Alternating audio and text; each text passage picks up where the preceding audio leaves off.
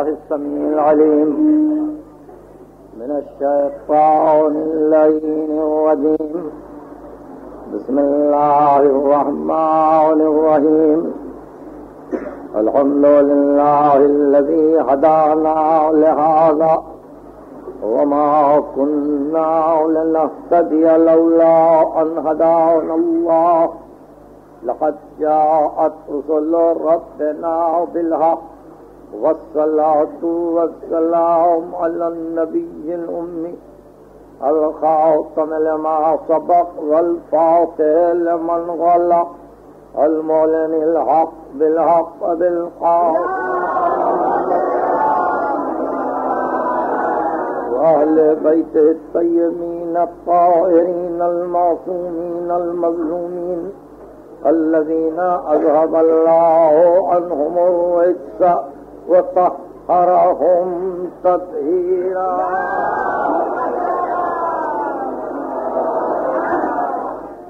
أما بعد فقد قال الله سبحانه وتعالى في محكم كتابه الحكيم إنه لقرآن كريم في كتاب مكنون. لا يمسه إلا المطهرون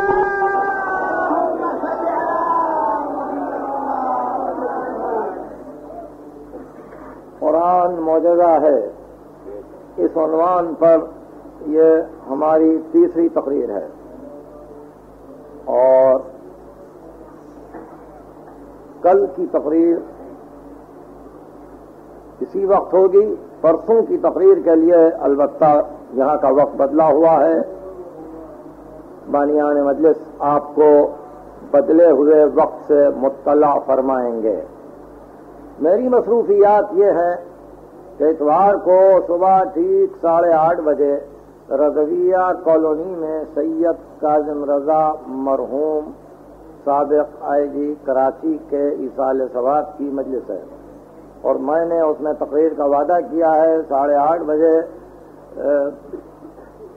توسخانی ہوگی اور ٹھیک نو بجے میں ممبر پر جاؤں گا۔ یہ مجلس یقیناً توفیق الہی دس بجے ختم ہوگی۔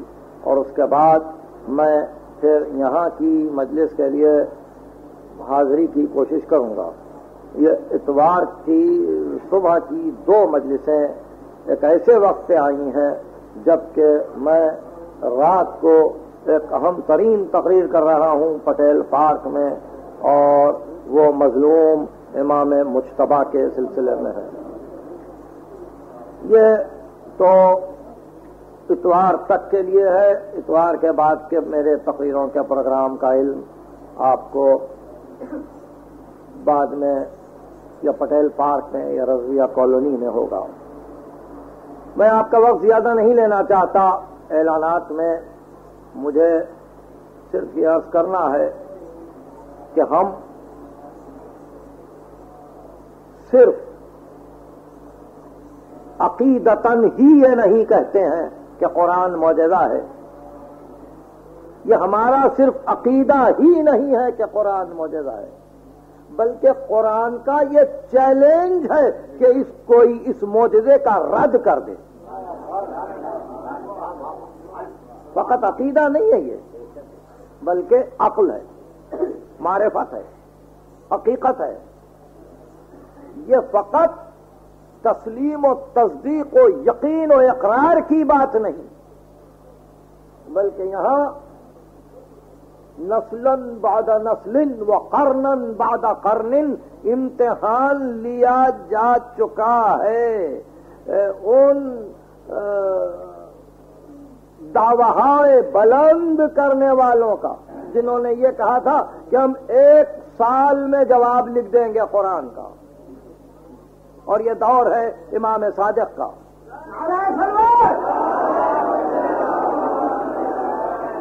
میں اپنی شاید آخری تقریر میں بتلاؤں گا، ابن ابل اوجا جو دہ مشہور دہریا تھا، وہ اور اس کے تین ساتھیوں نے یہ طے کر لیا تھا کہ یہ چھ ہزار دو سو چھتیس آئے تھے ہم ایک سال میں اس کا جواب دے دیں گے۔ اور سال ختم ہونے کے بعد کیا ہوا؟ اس کو آپ میں سے کچھ بزرگ جانتے ہیں، اور ورنہ ہم جیسا کہ ارد کیا جا چکا پرسوں اس کی تفصیل دیں گے۔ قرآن موجزہ ہے، اجمال میں موجزہ ہے، تفصیل میں موجزہ ہے، ناسخ کے اعتبار سے موجزہ ہے، منسوخ کے اعتبار سے موجزہ ہے، محکم کے اعتبار سے موجزہ ہے۔ متشابہ کے اعتبار سے موجزہ ہے۔ آداب کے اعتبار سے موجزہ ہے۔ تاریخ کے اعتبار سے موجودہ ہے۔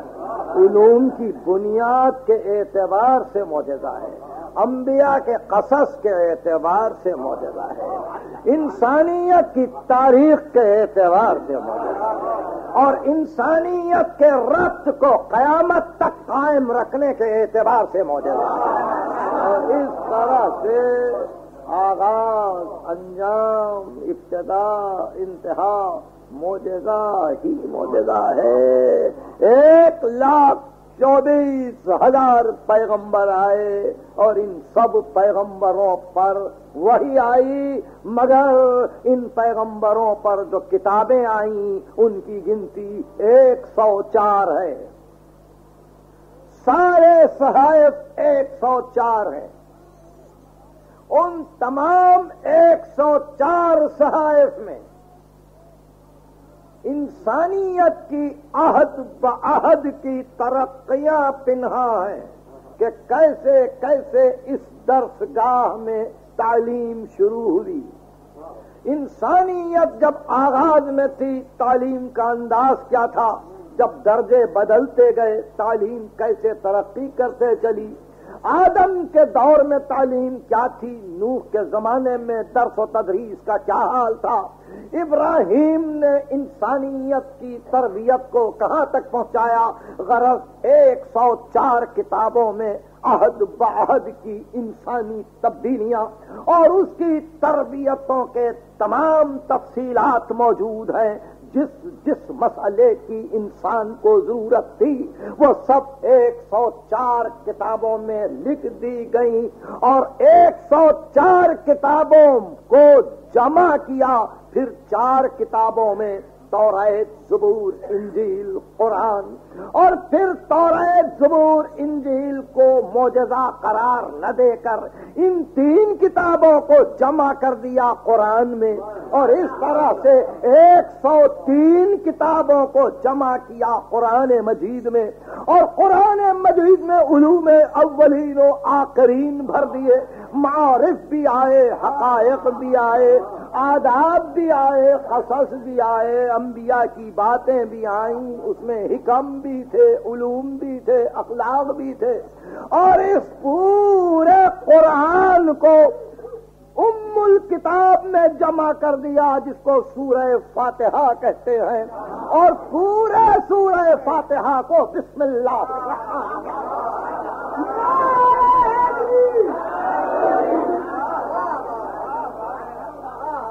یہاں تک تو علماء متفق علماء متفق ہیں۔ کہ ام الکتاب میں کتب ما سبق کو رکھا اور ام الکتاب کو بسم اللہ الرحمن الرحیم میں رکھا۔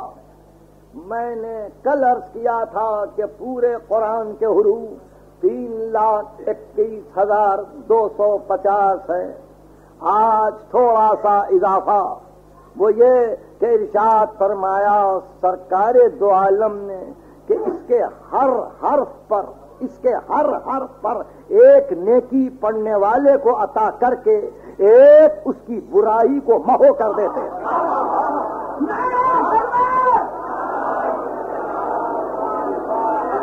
اس کے ہر حرف پر ایک حسنہ کا اضافہ ہے۔ ایک سیاح کو مہو کر دیتے ہیں۔ اللہ بسم اللہ الرحمن الرحیم کے کہ اگر کوئی بسم اللہ الرحمن الرحیم کو پڑھے تو اس کے ہر ہر پر چار ہزار نیکیاں لکھ کر چار ہزار برائیوں کو مہر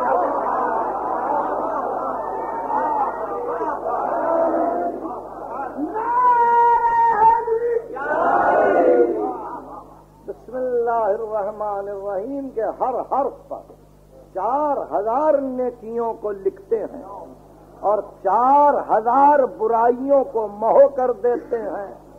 بات عقیدے کی نہیں ہے، اگر عقل سلیم ساتھ دے، اگر عقل سلیم ساتھ دے، اور اگر وجدان قبول کرے، اور اگر زینہائے معرفت پہ آدمی جائے، تو پتا چلے کہ بسم اللہ الرحمن الرحیم کیا ہے۔ آئیے میرے ساتھ ساتھ دو چار دقیقوں کے لیے فکر کریں گے بسم اللہ الرحمن الرحیم میں ہزاروں مرتبہ آپ نے بھی گفتگو سنی ہے ایک یہ بھی گفتگو ذہن میں رہے ہر انسان جب کوئی گھر بناتا ہے چاہتا یہ ہے کہ جس گھر میں اس کی ساری فضاعت ختم ہوئی ہے اس کا کوئی اچھا سا نام رکھے اس کو کسی اچھے سے نسبت دے کہ جو نام سب سے زیادہ محبوب ہوتا ہے وہ نام گھر کے لیے پسند کیا جاتا ہے جس انسان کو سب سے زیادہ پسند کرتا ہے، اسی کے نام سے گھر کو منسوخ کر دیتا ہے۔ کوئی انسان سب سے بہتر کتاب لکھتا ہے۔ دل چاہتا ہے کہ اس کتاب کو کسی ایسے سے معنون کر دے ڈیڈیکیٹ کر دے جس کا سب سے پڑھ کر اس پر احسان ہو یا جس کو سب سے زیادہ وہ چاہتا ہو، تاکہ کتاب باقی رہنے تک وہ نام بھی باقی رہ جائے کہ جس سے کتاب کو معنون کیا جا رہا ہے۔ اور اسی طرح سے سرا، کنویں، مدرسے شفا خانے انسان جو کچھ امتداد زمانی میں چھوڑے یا امتداد عقلی میں چھوڑے، ایک طویل زمانے کے لیے جس چیز کو چھوڑے، چاہتا ہے کہ کسی ایسے ایسے منسوخ کرے کہ جس کی نسبت سے کتاب کو عزت ہو، مکان کو عزت ہو، سرا کو عزت ہو شفا خانے کو عزت ہو، مدرسے کے عزت ہو، اب اللہ نے اس کتاب کو شروع کیا ہے، کس کے نام سے معنون کرے؟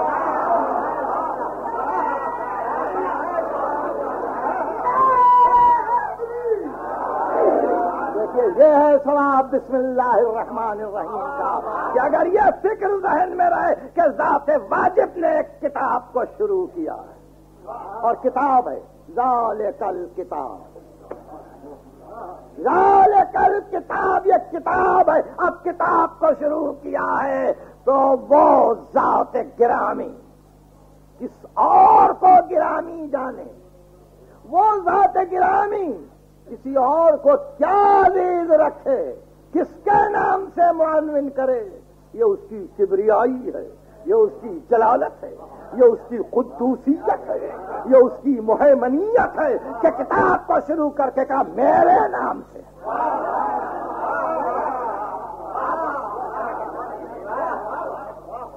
ہے کسی کی مجال کائنات میں۔ ہے کسی کی مجال کائنات میں جو کتاب لکھ کے کہے میرے نام سے شروع کرتا ہوں۔ کوئی ہے، یہ ہے موجودہ قرآن۔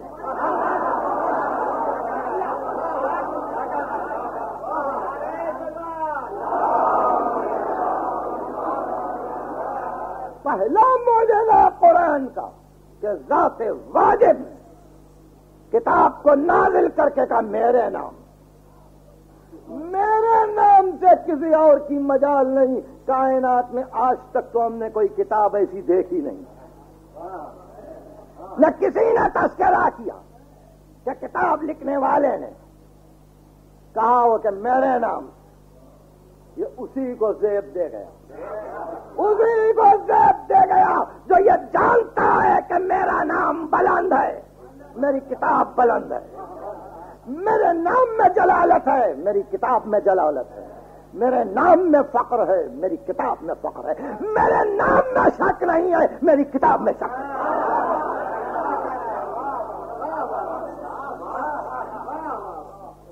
بسم اللہ الرحمن الرحیم۔ ایک سو چار کتابوں کو جمع کیا ہے اس ایک آیت میں، جس کے ایک ایک حرف پر چار ہزار نیکیاں جس کے ایک ایک حرف کی تلاوت سے چار ہزار کوتاہیاں دور ہو جائیں، کوتاہیاں دور ہو جائیں۔ مگر دل ساتھ دے، دماغ ساتھ دے، قبول کی قوت ساتھ دے۔ اللہ کے نام سے، اللہ کے نام سے، میرے نام سے، کبریا کے نام سے قدوس و محمن کے نام سے ملک و مختار کے نام سے۔ شروع کیا، تعریف کی اس میں ذات کی کہ رحمان بھی ہے رہی رحمان بھی ہے، رحیم بھی ہے۔ آج تک تفسیریں لکھی جا رہی ہیں۔ اور آپ کو معلوم ہے، آج تک بسم اللہ الرحمن الرحیم کی تفسیر مکمل نہ ہو سکی۔ ہزار ہزار صفحے لکھ کر مفسر نے آخر میں لکھا کہ گما مبر کے بپایا رسید کار مغام ہزار بادے ناخرتا در رگے طاقت۔ ابھی بہت کچھ رہ گیا ہے، بہت کچھ رہ گیا ہے۔ حق ادا نہ ہو سکا، ذات لا محدود کو، محدود کون کرے؟ ہزار سفے ہو یا ہزار ہزار سفے وہ اللہ کیسے محدود ہو جائے؟ رحمان و رحیم کیسے محدود ہو جائے؟ کس طرح سے کوئی توصیف کرے بسم اللہ الرحمن الرحیم کی؟ مگر نام سے اللہ کے شروع کرتے ہیں۔ جو رحمان ہے، رحیم ہے، رحمان ہے۔ صفت خاص اس میں خاص، صفت عام۔ اس میں خاص صفت عام یعنی رحمان وہ جو موسا فرعون دونوں کو پالے۔ رحمان وہ جو ابراہیم و نمرود دونوں کی پرورش کرے۔ رحمان وہ جو محمد و ابو جہل دونوں کو سہارا رحمان وہ جس کے خان نعمت پر اس کی خدائی کا انکار کرنے والے شوق سے بیٹھ کے زندگی بسر کریں رحمان وہ جو سب کو ایک نظر سے دیکھے، اس میں خاص صفت عام۔ اس میں خاص ایسا کہ باپ کو رحیم کہیں گے، رحمان نہیں کہتے۔ استاد کو رحیم کہیں گے، رحمان نہیں کہتے۔ حاکم کو رحیم کہیں گے، رحمان نہیں کہتے۔ اسم خاص ہے، مگر عمل عام ہے۔ باتیں سمجھ میں آ رہی ہیں؟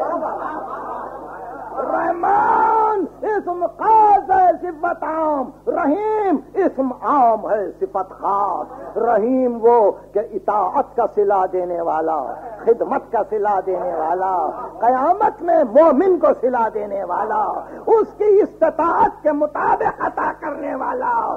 جنتوں تک پہنچانے والا، یہ مقام رحیمیت ہے، وہ مقام رحمانیت ہے۔ ایک ہی رحمت کے دو جمدے ہیں، ایک میں عمومیت ہے، ایک میں خصوصیت ہے۔ یہ عمومیت اور خصوصیت کو جب ملایا، تو آرازی ومار صلاح کا اللہ رحمت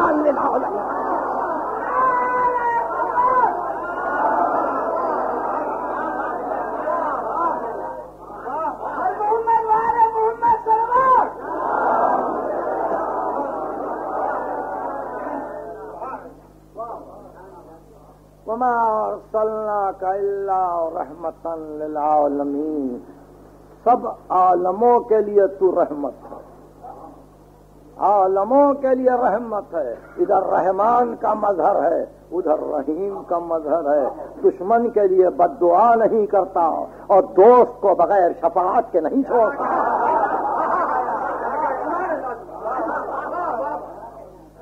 رحمان کا بھی مظہر ہے، رحیم کا بھی مظہر ہے۔ بسم اللہ الرحمن الرحیم۔ رحمان، اس میں خاص صفت عام، اور رحیم اس میں عام، مگر اس کی کیفیت خاص کے ساتھ۔ یہ دو نام مذکور ہوئے۔ رحمانیت وہ جس کا تعلق معاش عالم سے ہو۔ رحیمیت وہ کہ جس کا تعلق معاد مومن سے ہو ایک کا تعلق معاش عالم سے ہو، ایک کا تعلق معاد مومن سے ہو۔ رحمان وہ کہ لمن جہد کہ جو اس سے لڑ پڑے اسی سے رحمان۔ جو اس سے جھگڑا مال لے اسی سے رحمان۔ کہ اور جی لے۔ جی لے لڑ رہا ہے اور کھا لے۔ یہ ہوائیں تیرے لیے، یہ پانی تیرے لیے، یہ حیات تیرے لیے۔ لے یہ محلت طویل۔ رحمان لے من جہد رحمان اس کے لیے جو مالک سے لڑے۔ اور رحیم اس کے لیے لمن وحدہ جو اس کو توحید سے پکارے، وہ اس کے لیے رحیم ہے۔ جو انکار کرے، اس کے لیے رحمان ہے۔ رحمان لمن کفر رحمان اس کے لیے جو کافر ہو جائے۔ رحیم اس کے لیے لمن شکر جو شکر کے سجدے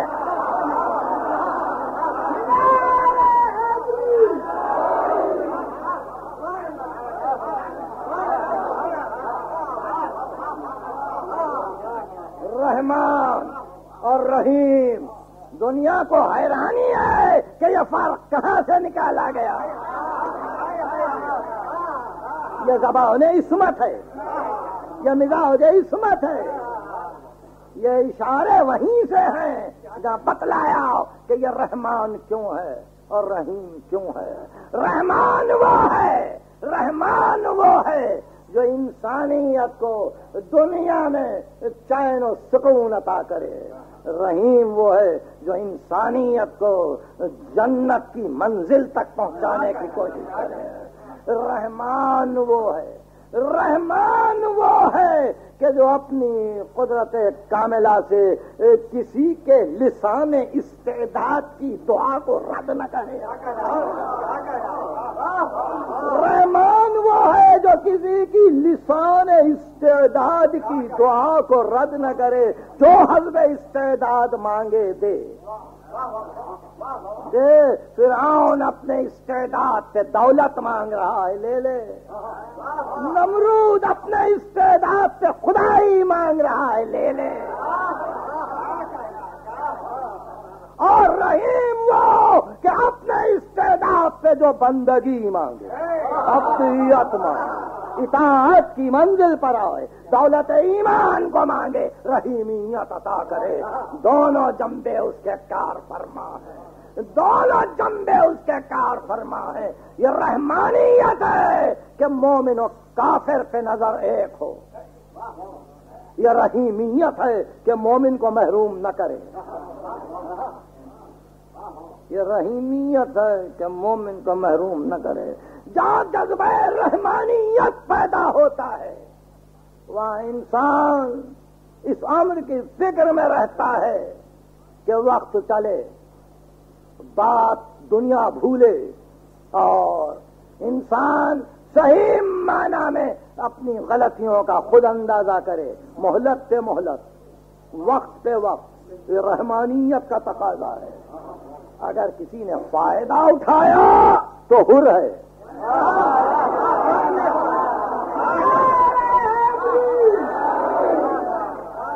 فائدہ اٹھایا رات بھر تڑپ کے تو ہر ہے۔ فائدہ نہیں اٹھایا تو ابن سعد ہے۔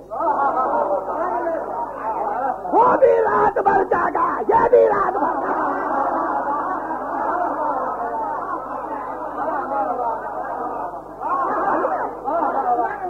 دونوں نے دو راتیں جاگ کے کاٹی۔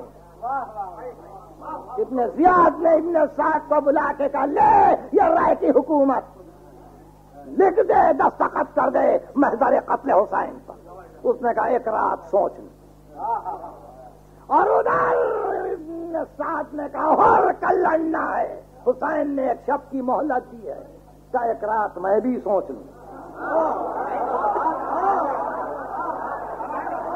یہ مثال ہے نو انسانی کے لیے قیامت تک۔ ابن سعد رات بھر ٹہلتا رہا۔ رات بھر ٹہلتا رہا۔ حکومت رائے یا قتل حسین؟ حکومت رائے اور قتل حسین۔ یا یہی زندگی فلاکت کی۔ اور دامن حسین۔ صبح کی ادا ہوئی۔ اور ابن سعد نے اعلان کیا، نہیں، حکومت رائے۔ حکومت رائے۔ اور وہاں رات کٹی۔ اور ادھر ادا ہوئی۔ اور ہر نے کہا، نہیں، حسین۔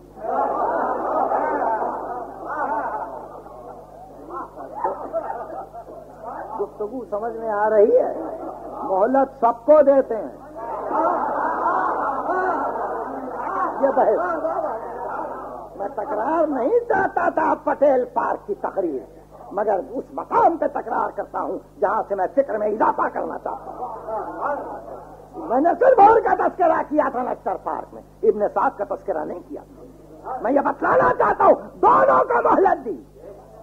اور امتحان کی منزل پر لا کر تاریخ میں کھڑا کر دیا کہ رات گزارو۔ رات گزارو۔ دیکھو نتیجہ کیا ہے۔ دونوں نے دو راتیں گزاری۔ ایک باطل کی طرف گیا۔ ایک حق کی طرف آیا۔ جب باطل کی طرف گیا وہ حق کا نقصان نہ کر سکا۔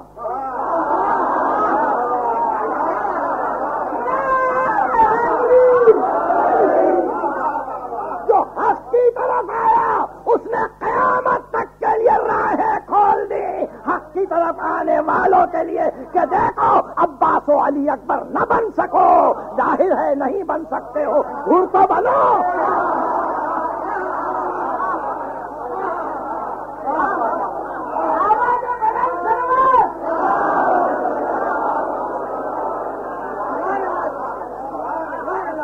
گفتگو یہ اس لیے چھڑ گئی۔ ارشاد ہوا، کل انو میں دو ہاں وہ ہاں ہم سب کی مدد کرتے ہیں۔ ہم ان کی بھی مدد کرتے ہیں۔ ہم ان کی بھی مدد کرتے ہیں۔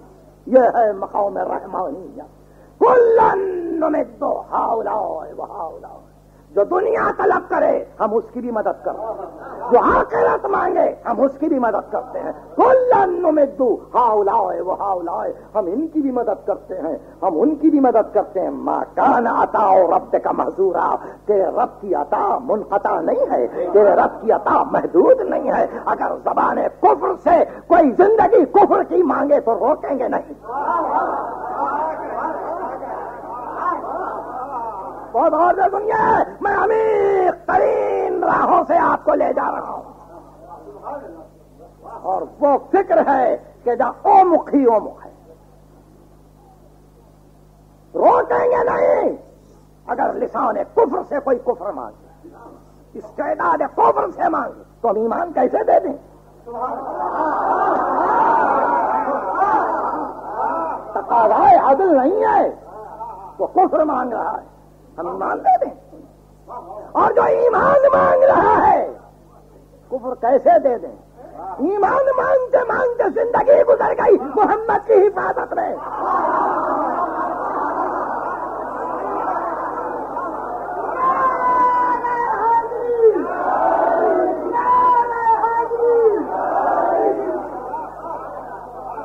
کیسے کفر دے دیں دنیا نہ پہچانے۔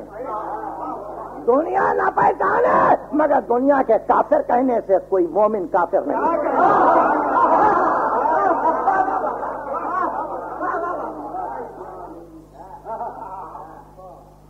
دنیا مانگتا ہے، دنیا لے جا، آخرت مانگتا ہے، آخرت لے جا۔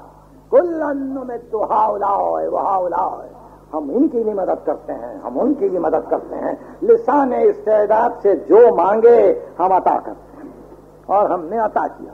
ہم نے عطا کیا۔ الزام ہم پر نہیں۔ الزام ہم پر نہیں۔ اس لیے کہ حجتیں آ چکی تھیں۔ انبیاء آ چکے تھے۔ رسول آ چکے تھے۔ کتابیں آ چکی تھیں، احکام پہنچ چکے تھے، عقل جیسی حجت دی جا چکی تھی۔ دیکھنے والی آنکھ، سننے والے کان، محفوظ کرنے والے دل دیے جا چکے تھے۔ اور اس کے باوجود کوئی ہم پہ الزام لگائے کہ کفر کی حالت پر چھوڑ دیا۔ تو ہم جبر نہیں کرتے۔ ہم جبر نہیں کرتے۔ ہماری عادت نہیں ہے جبر کی۔ ہم جبر سے نہیں لاتے۔ ہم جبر سے نہیں لاتے، اختیار دیتے ہیں اسی لیے کہ جبر نہ کریں۔ ہم جبر سے اپنی طرف نہیں لاتے۔ دیکھو، یہی قرآن ہے۔ یہی قرآن ہے۔ قرآن آیا۔ تم نے پڑھا۔ حجت آئی۔ رسول نے قرآن کو پڑھ کے سنایا۔ رسول نے عمل کر کے دکھلایا۔ موجزے کو موجز نما کے ساتھ کر دیا۔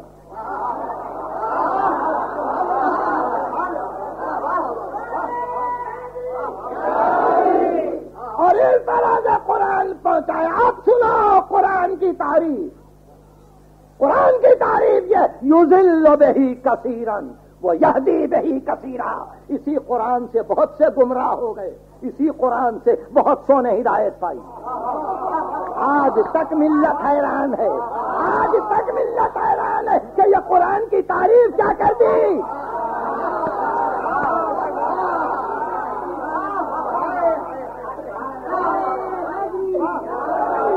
قرآن کے متعلق ہے یوزل بہی کثیرن وہ یہدی بہی کثیرا۔ اسی سے بہت سے گمراہ ہو گئے۔ اسی سے اسی سے۔ اور اسی سے بہت سے ہدایت پائے۔ یہ ہمارا کلام تھا۔ یہ رحمان اور رحیم کے اشارے تھے۔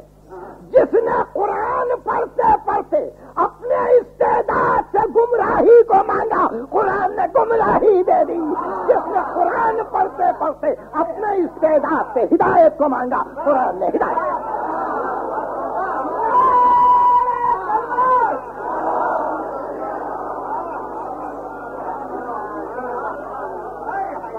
سہمت دے رہا ہوں سہمت دے رہا ہوں مگر جیسا کہ میں نے ارد کیا، فکر عمیق ہے۔ گھبرائے نہیں۔ کوشش کروں گا کہ ٹھوکر نہ لگے۔ کوشش کروں گا کہ ٹھوکر نہ لگے۔ آئیے، اس منزل پر معصوم نے سہارا دیا۔ معصوم نے سہارا دیا۔ یوزل بہی کثیرن وہ یہ دی دہی کثیرا۔ اسی قرآن سے بہت سے گمراہ ہو گئے۔ اسی قرآن سے بہت سو نے ہدایت پائی۔ معصوم فرماتے ہیں، من جال القرآن امامہ فقادہ الى الجنہ جس نے قرآن کو اپنے سامنے رکھا، قرآن نے اس کی قیادت جنت تک کی۔ بہت غور سے سنیے۔ من جال القرآن امامہ قادہ الى الجنہ جس نے قرآن کو سامنے اپنے رکھا قرآن نے جنت تک قیادت کی۔ وہ من جعل القرآن خلفہ اور جس نے قرآن کو اپنے پیچھے رکھا ساقہ النار، اس نے اس شخص کو جہنم میں ڈھکیل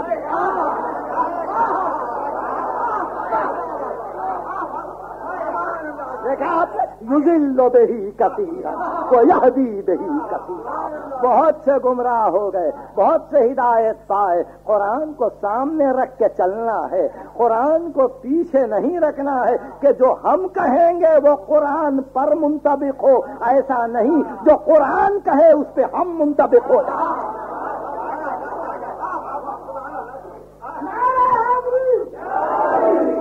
میں نے جس منزل تک سمجھانے کی کوشش کی، اس کو کبھی نہ بھولی، کبھی نہ بھولی۔ جس نے قرآن کو سامنے رکھا، قرآن نے اس کی قیادت جنت تک کی۔ جس نے قرآن کو پیچھے رکھا رکھا ضرور۔ رکھا ضرور کا ادھر رہنے دو۔ ادھر رہنے دو۔ پہلے ہم۔ پہلے ہماری سیاست، پہلے ہماری تجارت، پہلے ہمارا مال، پہلے ہماری دنیا، پھر قرآن۔ قرآن نے پیچھے سے ڈھکیل دیا۔ پیچھے سے ڈھکیل۔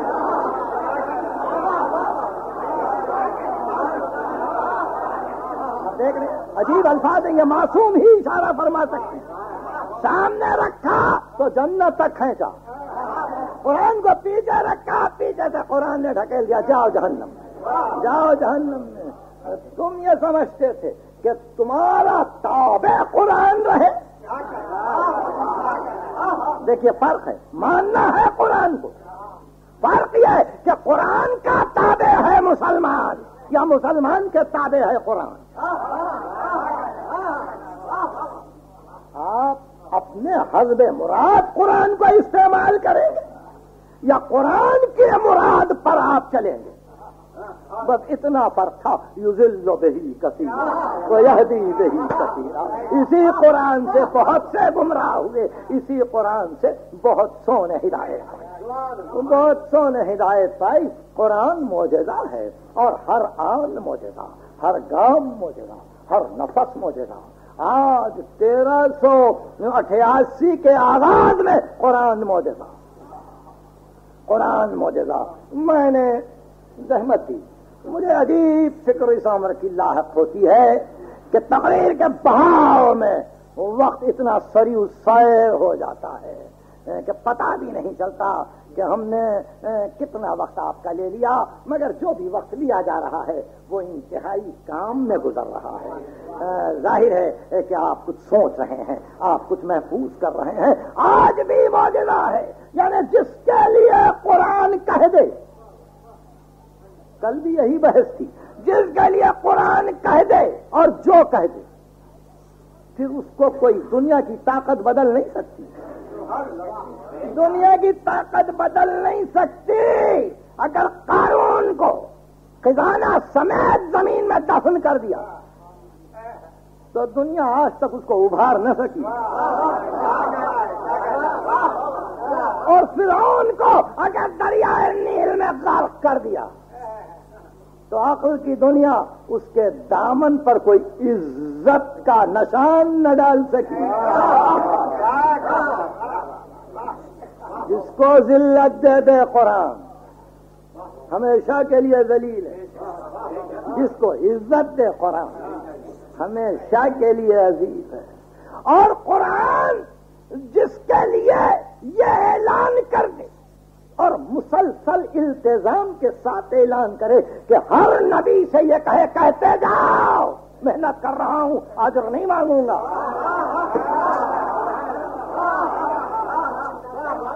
دیکھیے، کس منزل پر گفتگو آئی؟ سورہ ہود اور سورہ قصص۔ ہر نبی نے کہا اسألکم علیہ اجرا، ان اجری اللہ اللہ، اجر نہیں مانگتا، اجر اللہ دے گا۔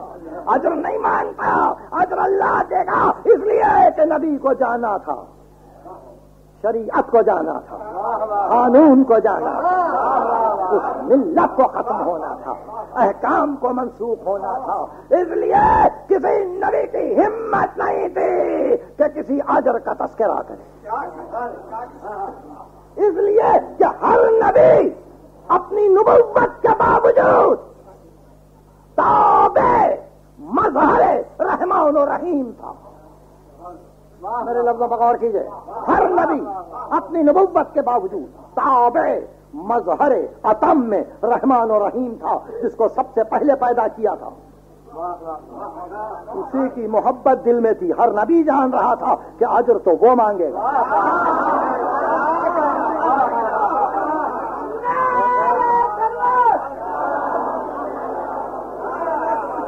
اب اس کے بعد یہ قرآن کا موجودہ ہے کہ جب اس نبی کا تذکرہ آیا تو تین مقام پر تین آیتیں آئیں۔ پہلے یہ کہ نبی کہہ دو، ما سال تو کم من اجرین فہو لکم میں نے جو اجر مانگا ہے وہ تمہارے بھلائی کے لیے۔ یہ نہیں کہ نہیں مانگا، نہیں۔ ماں سال تو گم من اجرین فہو لکم جو اجر مانگا ہے وہ تمہارے لیے یہ سورہ سبا۔ سوروں کو یاد رکھیے، سورہ سبا کی آیت پڑھ رہا ہوں۔ کل ماں سال تو کم من اج رنگ فہو لکم، کہہ دو، جو اجر میں نے مانگا ہے، وہ تمہارے لیے ہے میرے لیے نہیں ہے۔ اس میں میرا فائدہ نہیں ہے۔ یہ تمہارا فائدہ۔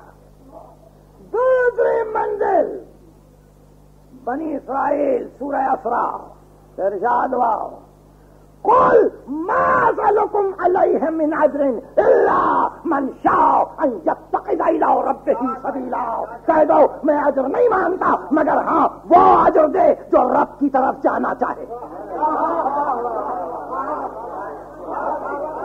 اللہ من شاء ان يتقذ إلى ربه سبيلا. وہ عجر دے جو رب کی طرف جانا چاہے. تیسری منزل سورہ سعد کی آخری قل ما أسألكم عليه من أجر وما أنا من المتكلفين إن هو إلا ذکر للعالمین میں تکلف کرنے والوں میں سے نہیں ہوں، میں نمائش کرنے والوں میں سے نہیں ہوں کہ تم سے دکھاوے کا اجر مانگوں۔ جو مانگا ہے وہ عالمین کے لیے ذکر ہے۔ واللہ تعلمن نباہو آج نہیں، بہت زمانے کے بعد پتا چلے گا کہ میں نے کیا مانگا۔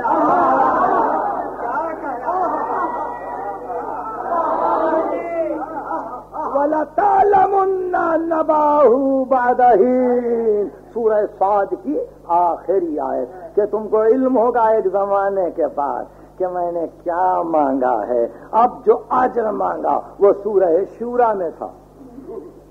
اور کہا کہ نہیں چاہتا ہوں کوئی اجر۔ یہ قرآن کا معجزہ بتلا رہا ہوں۔ المودت فی القربہ۔ مگر یہ کہ قربا کی مودت۔ مگر یہ کہ قربا کی مودت۔ یہ دیکھیے معجزہ معجزہ یہ کہ ادھر آیت کو نازل کیا۔ ادھر قربا کا اعلان کروایا۔ قربا کا اعلان کروایا۔ اور ادھر بڑھتی ہوئی اور چڑھتی ہوئی دولتوں کو اجازت دے دی۔ کہ تم اپنے قرابت داروں کو بلند کر کے بتلاؤ، کیا موجت کے مرکز بن سکتے ہیں؟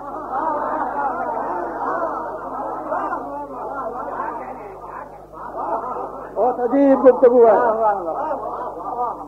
بنی امیہ، بنی عباس، آل سسان آل سامان سلجوقی، مغلیہ تاجدار، ترکان تاتار، ترکان آل عثمان۔ سب کو اجازت تھی کہ بیت المال کے دروازوں کو کھول دو، دولت لٹا دو۔ اور کسی کو آگے بڑھا کے مودت کا مرکز اسلام کے لیے بناؤ۔ بڑی عجیب باتیں ہو رہی بڑی عجیب باتیں ہو رہی ہیں۔ دولتیں لٹا دو۔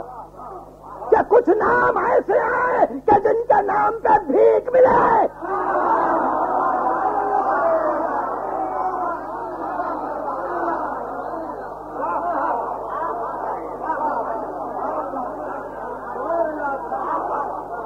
دولتیں لٹا دو۔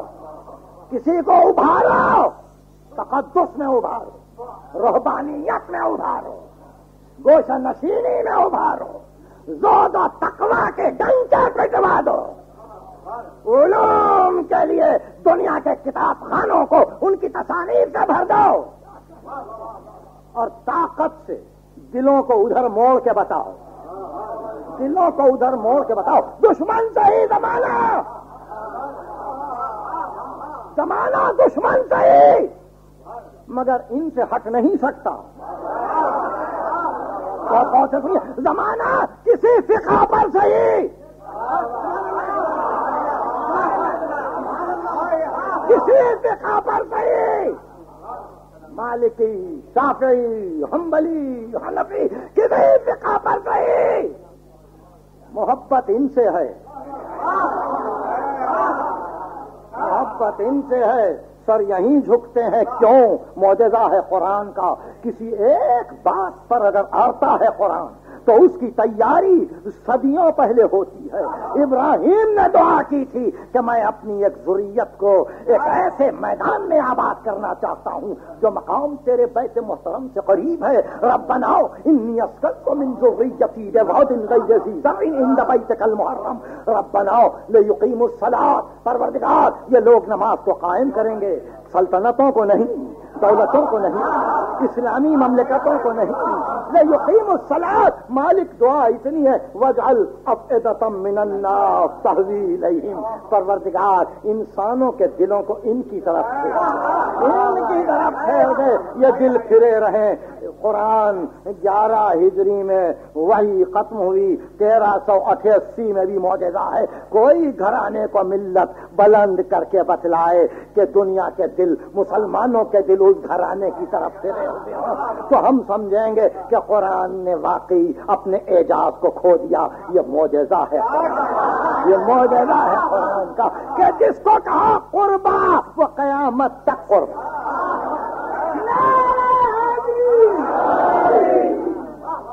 میری باتوں کو آپ سمجھ گئے۔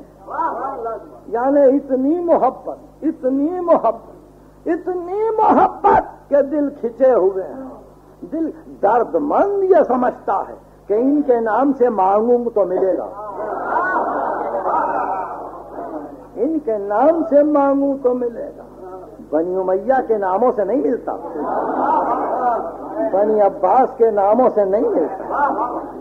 ان کے ناموں سے ملتا ہے۔ ان کے ناموں سے رزق ملتا ہے۔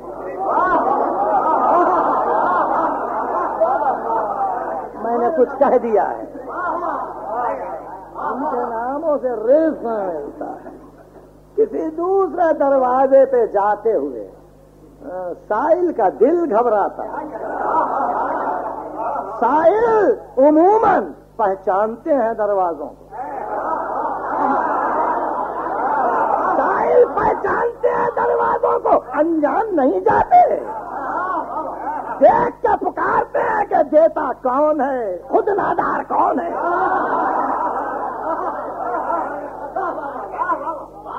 آپ نے دیکھا؟ کبھی کھڑے ہو کے کسی مقام پہ سائل کی نفسیات کو دیکھیے، کس دروازے سے انجان گزرتا ہے؟ کس دروازے پہ رکتا ہے؟ معلوم ہے اس کو کہ کون سا دروازہ کھلتا ہی ہے۔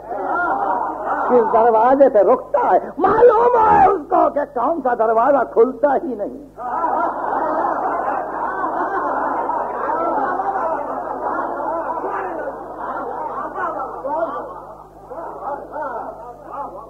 ثاقب لکھنوی کا ایک شعر یاد رکھیے۔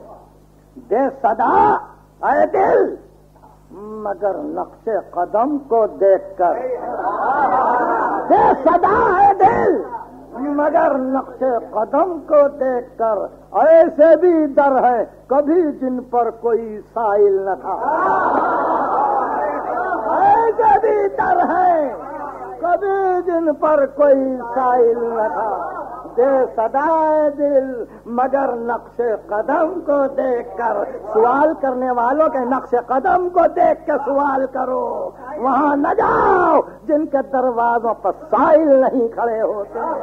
یہی وہ منزل ہے، یہ قرآن کا موجودہ ہے کہ دل آج تک اسی طرف لگے ہوئے ہیں۔ اور دل قیامت تک اسی طرف لگے ہوئے ہوں گے۔ یہ اور بحث ہے کہ پیغمبر تبلیغ رسالت کی مزدوری لے سکتے تھے یا نہیں لے سکتے تھے۔ یہ اور بات ہے کہ آج رسالت کا حق پیغمبر کو پہنچتا تھا کہ نہیں پہنچتا تھا۔ یہ اور بات ہے کہ قربا سے مراد کون تھے؟ وہ تھے یا امت تھی، میں اب بحث نہیں کروں گا۔ میں اس نتیجے پہ پہنچا، فلسفہ نتائجیت کے اعتبار سے، پریگمیٹزم کے اعتبار سے کہ میں دیکھتا ہوں کہ چند ایسے افراد ہیں کہ جن کی طرف دل مڑے ہوئے ہیں، دل چھٹے ہوئے ہیں، دل جن کو چاہتے ہیں، ان کی طرف سے کسی اور کی طرف دل نہیں جھکتے۔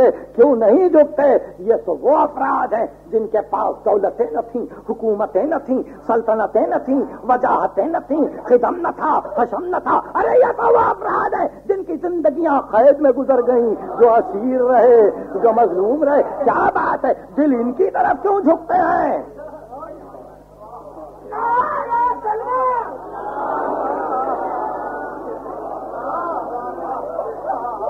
لالو کھیت کے سی ایریا کی مسجد امامیہ میں تقریر کرتے ہوئے۔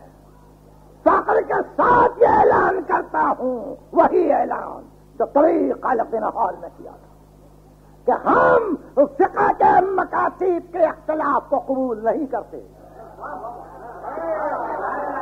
ہم مکاتب فقی کے اختلاف کو قبول نہیں کرتے۔ کوئی ہاتھ کھول کے نماز پڑھے، کوئی ہاتھ باندھ کے نماز پڑھے، کوئی گلے اور کان کا مسا کرے، کوئی صرف باز سر کا مسا کرے، کوئی پاؤں کا مسا کرے یا پاؤں کو دھوئے۔ مکاتب فقی فقی پر ہم ملت کو نہیں بانٹنا چاہتے ملت بٹے گی تو فقط اس بات پہ بٹے گی کہ آل محمد کا دوست کون ہے دشمن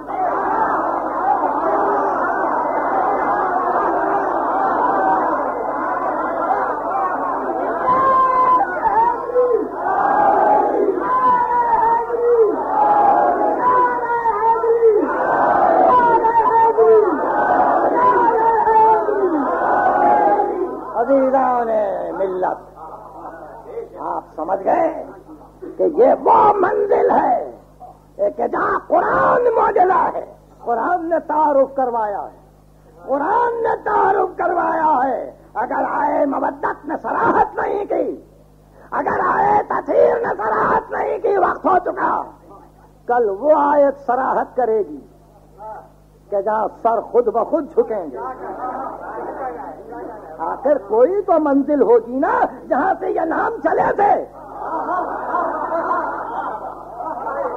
میں ذات ختم پر ختم بدہن۔ معاذ اللہ، میری زبان گونگ ہو جائے اگر میں یہ الزام لگاؤں کہ انہوں نے اپنے خواہش نفس سے اپنے قرابت داروں کو پیش کیا۔ تاریخ الٹ جاتی۔ کتنے نبی کے کتنے قرابت دار تھے۔ مگر کیا بات تھی کہ جن کو اس طرح سے آپ کے سامنے پیش کیا، وہ آج تک آپ کے سامنے ہیں۔ قیامت تک آپ کے سامنے رہیں۔ ان کا پیغام دولت کی موجوں پر نہیں، غم کی موجوں پر گیا۔ ان کے پیغام کو سفرا نہیں، درد لے گیا۔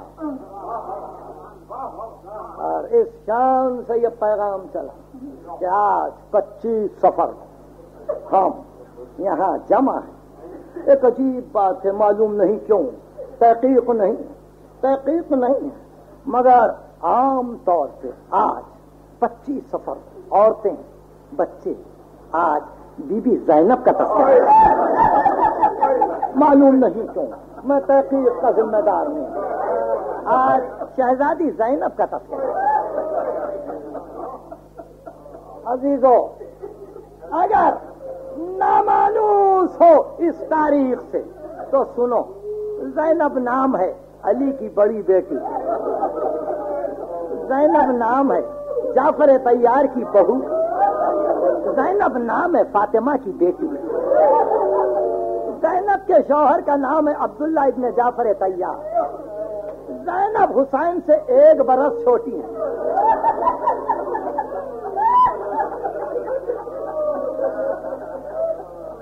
کربلا میں زینب کا سن چھپن سال کا۔ حسین ستاون برس کے۔ چھوٹی بہن۔ ہے مگر بہن بلائے تو بھائی آ جائے۔ بہن پکارے تو بھائی لبے بہن سے مشورہ کرے۔ اور میرے سلسلے کلام میں آئے گا۔ مجھے معاف کیجیے میں پندرہ منٹ آج اور زیادہ لوں اس لیے کہ شہزادی کا تذکرہ شہزادی کا تذکرہ چھڑے مدینہ سے جانے لگے۔ تو گھر کا پورا اہتمام، پورا انتظام شہزادی زینب کے ہاتھوں۔ حسین یہ نہیں کہتے کہ بہن کیا ہوگا۔ حسین یہ نہیں کہتے کہ بہن کس کو لے جانا ہے، کس کو چھوڑنا ہے۔ حسین یہ نہیں کہتے کہ کیا سامان سفر ساتھ جائے گا۔ کچھ نہیں، صرف یہی کہ زینب ہم جائیں گے۔ اور بہن نے انتظام کیا۔ جس کو چھوڑنا تھا چھوڑا، جس کو ساتھ لینا تھا ساتھ لیا اور جب رخصت کا وقت آیا، تو سیدھے اپنے گھر آئے۔ عبداللہ ابن جعفر تیار کے گھر۔ اور کہا، عبداللہ، تم کو معلوم ہے میرا بھائی ہمارا وطن ہو رہا ہے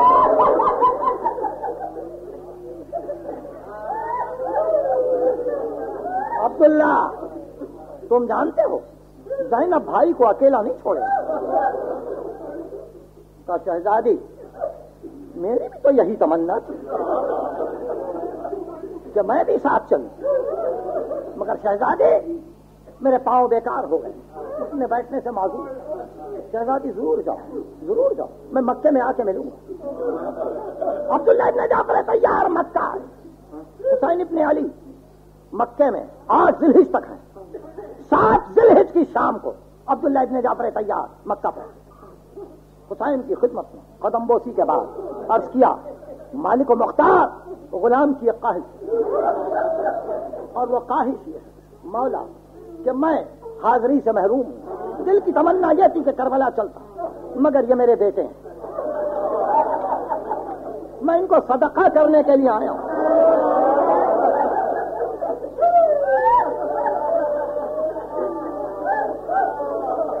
یہ میری نیابت کریں۔ یہ میری نیابت کریں۔ نو اور دس برس کے بچے۔ میری باتوں کو یاد رکھیے۔ نو اور دس برس کے بچے۔ ایسا معلوم ہو رہا تھا کہ زینب کا ذوق جہاد مجسم ہو گیا۔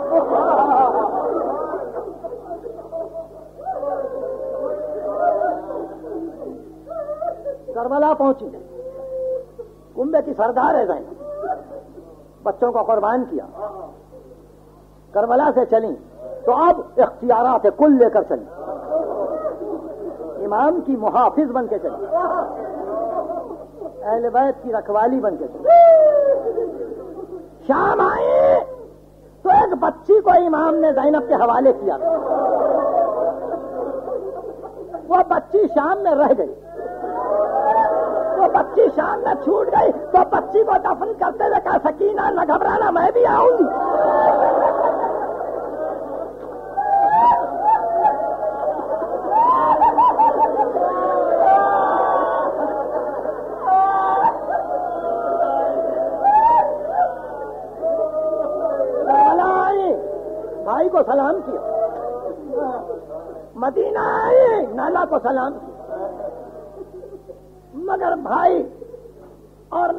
سے کچھ کہہ نہ سکی لڑکیاں، عموماً دل کی باتیں ماں سے کہیں۔ اس لیے جب جنت البقی کے قبرستان میں آئی تو ماں سے کہا، اماں بازو کے نشان دکھلاؤ۔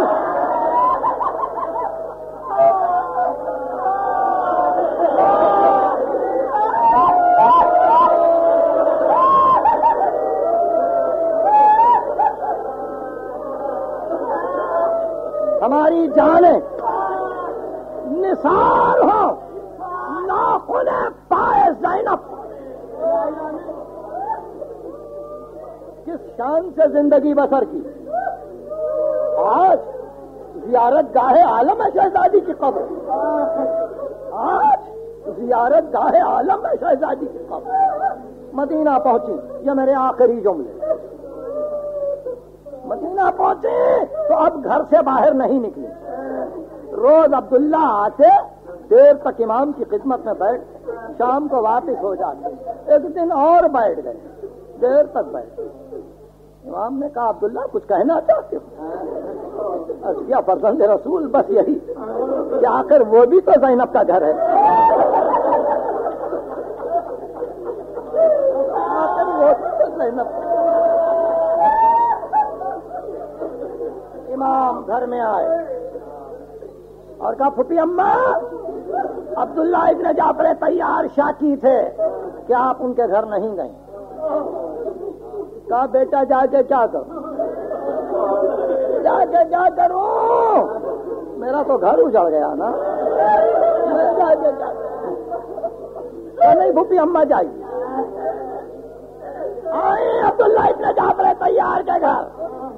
شوہر نے بیوی کو دیکھا اور بے اختیار کا زینب، اب تو پہچانی نہیں جائے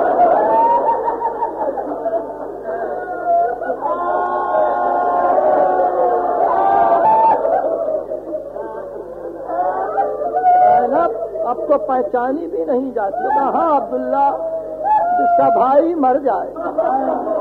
وہ کیا پہچان عبداللہ، تم نے کیوں بلایا؟ تم نے اس لیے بلایا؟ کہ او محمد کا کیا حال عبداللہ نے اپنے منہ پہ تماچے مارے۔ کبھی بھی غلاموں کا کیا ذکر؟ بی بی غلاموں کا کیا ذکر ہے؟ میں نے اس لیے نہیں رحمت دی۔ تو عبداللہ، تم پوچھنا کیا چاہتے ہو؟ کیا پوچھنا چاہتے ہو؟ شہزادی میں نے میں نے صفین کے میدان میں حسین کی لڑائی کو دیکھا۔ شہزادی صرف اتنا بتلاؤ کربلا میں میرا بھائی لڑا گئے